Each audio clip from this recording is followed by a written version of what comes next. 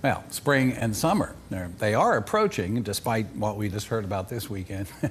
Students across the state looking for internships to see what careers they uh, may have available to them.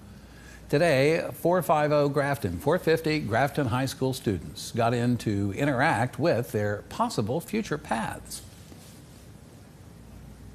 Give them a broad, broader aspect to life uh, they will soon be entering the workforce, and so this shows them that there's a lot of possibilities for them.